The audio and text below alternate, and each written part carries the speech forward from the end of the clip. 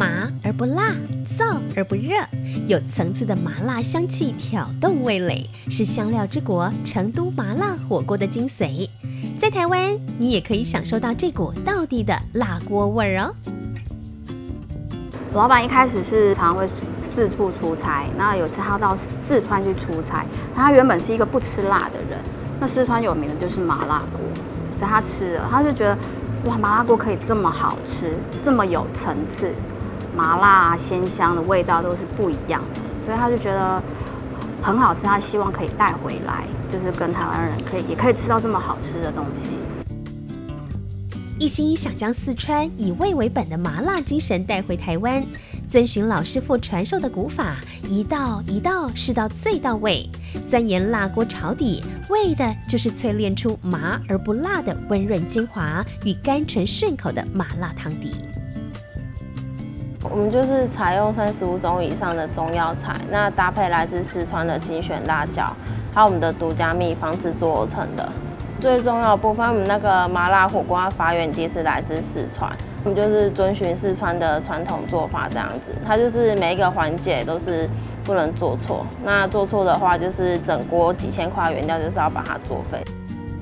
除了正宗的四川麻辣火锅，还提供新疆番茄锅与特有的花雕鸡汤底，不论是哪一种汤底，都是扎实的，从炒底开始，用心处理食材。经典锅物有着纯手工香气浓厚的芋头丸，还有热炒料理哦。我们火锅料的话，芋头丸是客人的最爱，它是我们每天制作，采用新鲜的肉酱，然后搭配假鲜的芋头下去制作而成的。然后我们的老卤拼盘，它是采用四川的传统做法，搭配我们的麻辣底料下去做，所以它吃起来会有一个特殊的口感跟香气。我们是以招待所的概念在经营这家店，所以我们希望就是可以预约客，就是有采预约制。一方面是食材可以新鲜，我们都当天才买。那我们也希望给客人这样子的概念，就是我们川岛后所为你准备的东西是新鲜、好吃的，那也不要造成食材过度的浪费。采用套餐的方式，让顾客以亲民的价格享受到各式美味料理。每个细节的用心，就为了呈现最自然的味道与意念，让顾客感受食材与汤底的极致融合。除此之外，还有推出假日限定个人独享锅呢。我是偏爱麻辣的部分，那有些人喜欢番茄锅，因为番茄它酸，但是不会太腻。那麻辣的重点就是它辣而不麻，又不会太咸。因为一般来说，那个火锅它的汤底吃完之后会越吃越咸，但是它不会，然后吃起来就感觉就会是吃一吃，好像无底洞这样一直吃，对，我是觉得还不错。我喜欢他们家的牛肉，还有豆腐跟鸭血。